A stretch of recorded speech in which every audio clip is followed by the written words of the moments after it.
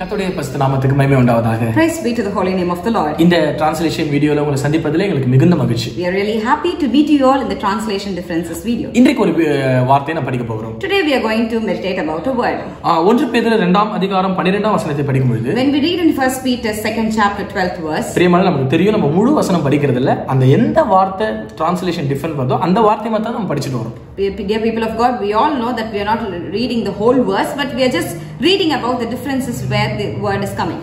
பவுல் ஆஹ், பேதுரு சொல்லுகிறார் உங்களுக்கு புத்தி சொல்லுகிறேன் Uh, Paul is telling, Peter, sorry, Peter. Peter is telling that I am counseling you or giving advice to you. ஆஹ், புத்தி சொல்றேன் Am beseeching you.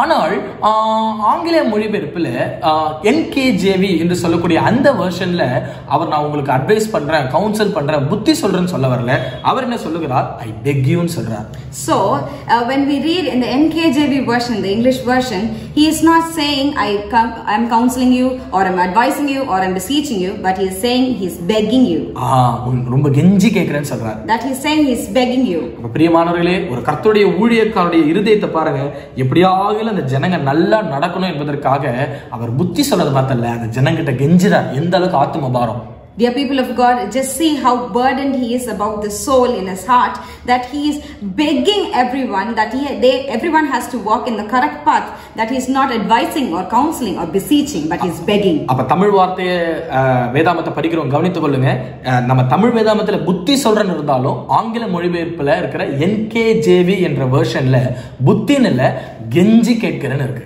So, the people who are reading the Tamil Bible, following the Tamil Bible, kindly listen. It is not just written as counseling or advising or beseeching, but it is told as begging in the NKJV version. அஹ், ஆங்கில மொழிபெயர்ப்பை படிக்கிறோம் கவனித்துக் The கொள்ளுங்க people who are reading the English translation, kindly listen. அஹ், பேதுரு அஹ், கெஞ்சி கேட்கிறார் என்று உங்களுடைய வெர்ஷன்ல என்கேஜேவில எல்லாம் இருந்தாலும் கூட தமிழ் வேதாமத்துல கெஞ்சுவது மாத்திரமல்ல அவர் புத்தியும் சொல்லுகிறார் என்று போடப்பட்டிருக்கிறது So, the people who are following the English Bible, also who are following the NKJV Bible, you can see that he is beseeching.